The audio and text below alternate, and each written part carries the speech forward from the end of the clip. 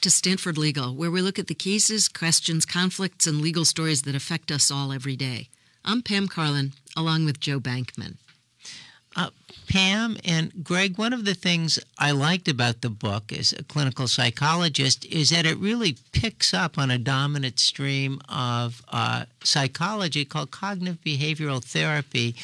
I wonder if you could talk a little bit about that, how that undergirds some of your thoughts about hearing difficult things.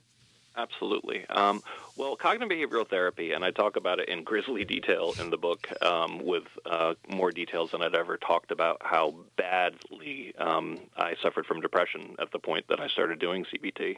Um, it's one of those funny experiences that you have when you're writing a book that it almost feels like it, that this is just between me and the computer, and then you realize, wow, okay, I'm telling this to millions of people or, or thousands of people. Um, CBT is is amazing in that it's a really effective intervention for anxiety and depression, and fundamentally, uh, what it is is looking at your own exaggerated uh, thoughts. And what I mean by exaggerated thoughts, they're also known as cognitive distortions. They're things that everybody does. Um, that essentially, if a job interview goes badly, you say, "Oh God, I'm going to die like in the gutter." You know, um, when you're feeling really anxious and depressed, you have more of this kind of um, anxious, exaggerated talk. And what CBT does is it gives you labels for um, different kinds of common mental exaggerations. So uh, I'm going to die in the gutter is catastrophizing. Um, you know, if you're on a date, you know, like I love this girl and she hates me, that's mind reading. Uh, there's also fortune telling is very common. Binary thinking, which I'm totally guilty of, um, is I have a you know tendency to think in terms of like it's going to be great or it's going to be horrible, which is of course most things are neither completely zero or completely one. Um, and it was interesting studying this stuff while I was dealing with free speech issues on campus because what I noticed was that I felt like administrators were engaged in behavior that seemed to be modeling um, cognitive distortions, uh, a very exaggerated sense of threat, a very exaggerated sense of, you know, listen, if you don't do well here, you're kind of doomed. Um, and that at first I didn't notice that students were really picking up on this, but I feel like more recently, I, um, and unfortunately, given the bad mental health outcomes we've seen really tick up just in the past couple of years, I'm afraid that students are, to a degree, and th- this is what the book is largely about, learning the mental habits of anxious and depressed people. And, and so let's take an example of this with a free speech issue. Somebody says something that's susceptible of two interpretations. And you're taking uh, a catastrophic interpretation, thinking right. that it is just saying something terrible about you, where you'd be better off kind of giving the speaker the benefit of the doubt, so to speak, and say maybe it's not really about me. Is that am, am, am I on the right right wavelength here? I, I, would I would put that more in the category of just the old-fashioned idea of benefit of the doubt, which I just uh-huh. think is good to create an environment where people can can talk. Uh, but from a uh, but from the CBT perspective, which uh, I, I know you know uh, tons about uh, and studied a lot about as well.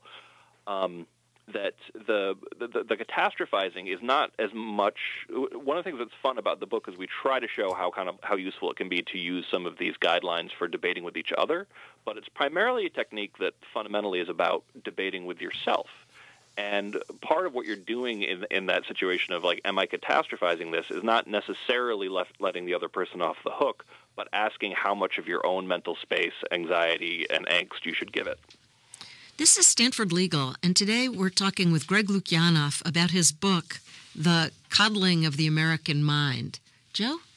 Um, well, I want to now, in our last uh, segment here, Greg, go back to kind of solutions.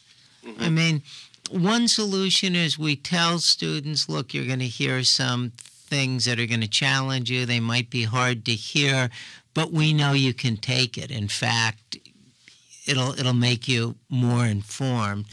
Um, how about other solutions?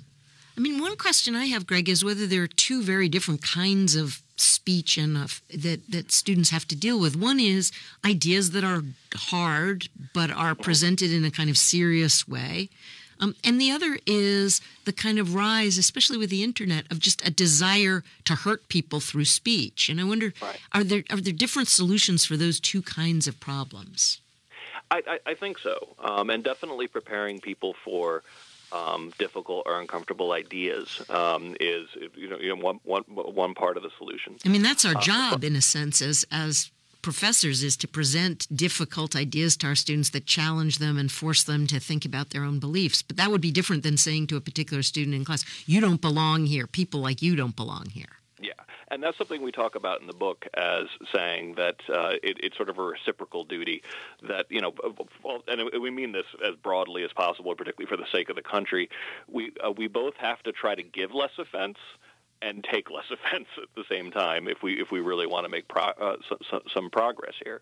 Um, I do think that uh, some some in some ways though the, the interactions we see on on campus that are uh, you know, particularly nasty uh, or hurtful or hateful, um, uh, are nothing compared to the kind of things that you virtually can't uh, can't escape online. Um, so, trying to figure out when something, first of all, when something isn't protected, when it's threats, when it's actual harassment, when it's um, uh, so a lot of the cases that get presented to us that involve um, some of the speech really would fit in the category of, of harassment or, uh, for that matter, even libel. But when it comes to just someone, you know, being a kind of a jerk, uh, that's something that is, I think of as kind one of the benefits of being in a genuinely diverse class, particularly if it's diverse in terms of people from different economic backgrounds, people from different uh, ethnic backgrounds.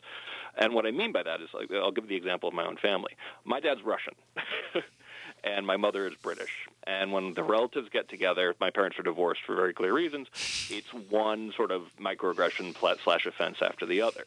Um, and if you do your job at a, at a class uh, with a class where you really do have people from different um, uh, different backgrounds, it's gonna probably mean that people are going to be insulting people unintentionally all the time, and maybe even intentionally sometimes because they have different ideas of the comparative value of uh, being brutally honest versus being polite, which is the distinction between Russian and, and, and British that's very strong. Um, so there are times when you can intervene, but even for those interpersonal relationships, you can actually prepare people for the, the kind of more cosmopolitan idea that there are, people, there are people here who have completely different norms about uh, politeness than we might have at Stanford, and that you should you should give a shot of trying to hear what they're actually trying to say. You know, Greg, we had Claude Steele, one of the leading uh, African American academics who's written about prejudice, out to the law school, and one of the things he recommended was having people work together on non-loaded issues. I mean, oh, this is like bowling together uh, yeah. as a way of establishing trust. And I, I I wonder if that's something that that makes sense to you. And I think I picked up a little of that in the book too. Yeah, I, I think friendships, genuine friendships that have nothing to do with ideology, help so much. Um, one thing that I really appreciated about uh, the, my, my class, the class of 2000, um, was how diverse we were in so many different ways. And one of my best friends to this day was a guy who was a uh, was a uh, carpenter for for ten years before law school, and then went to, graduated from Stanford with me, did, did did did fine, and then went back into carpentry, and he's you know very very happily living in in, in New York City. Um, and I think that having people who could, you know, who could uh, organize around things, whether it's, you know, it can be everything from uh, uh, softball to Dungeons and Dragons to bowling, um, it helps you understand that this person who has this ab- this view you might find um, aberrational, um, that they can still otherwise be a good person, which is which is a lesson that I think that um, we we unfortunately but desperately probably need to um, take as an entire society. Absolutely, scary moment.